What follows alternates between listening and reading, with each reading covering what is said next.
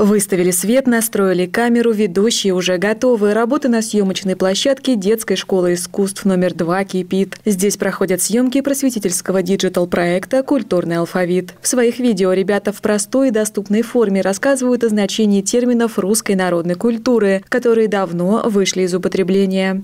Участники съемок примеряют на себя разные роли – оператора, ведущего или монтажера. Ведущий, в принципе, быть не тяжело, но есть свои маленькие проблемы – ну, например, когда ты снимаешь, у тебя может попасть смешинка, и ты начинаешь смеяться, смеяться, смеяться и смеяться. В итоге у тебя получается, что ты только эти дубли закончишь где-нибудь через 40 минут. Были свои сложности. Допустим, снимать опросы на улице, было очень трудно поймать человека, который хотел бы ответить на наш вопрос. Съемки всегда проходят по-разному. Когда получается первый раз что-то записать, а когда, вот как уже говорили, ловит смешинку и все.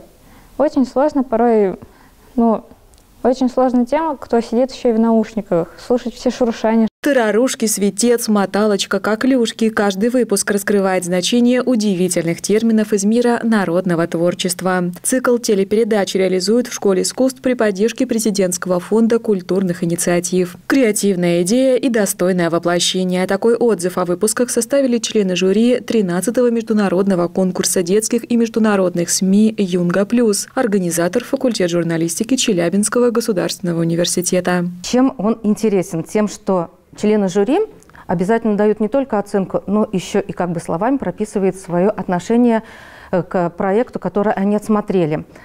Наш э, digital-проект «Культурный алфавит» победил в номинации «Лучшая ТВ-программа».